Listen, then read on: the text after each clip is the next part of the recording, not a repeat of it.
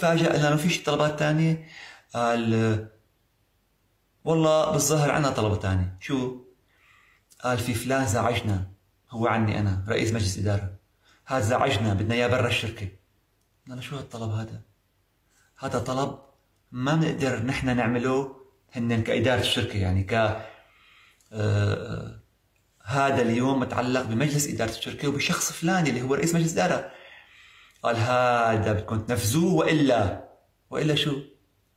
وإلا إذا أنتم ما نفذتوه أنتم بتحاسبوا عليه.